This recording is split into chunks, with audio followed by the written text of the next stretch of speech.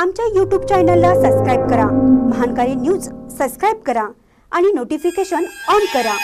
Notification on केल्यामुळे आमचे update आपल्यापर्यंत सतत पोहोचेल. चिकोडीत पत्रकारांनी जपली सामाजिक बांधिलकी पत्रकार दिनानिमित्त शालेय साहित्यांचं वाटप. चिकोडी येथील पत्रकार संघाच्या वतीनं पत्रकार दिनाचं औचित्य साधून गरजू विद्यार्थ्यांना शालेय साहित्याचं वाटप करण्यात आलं.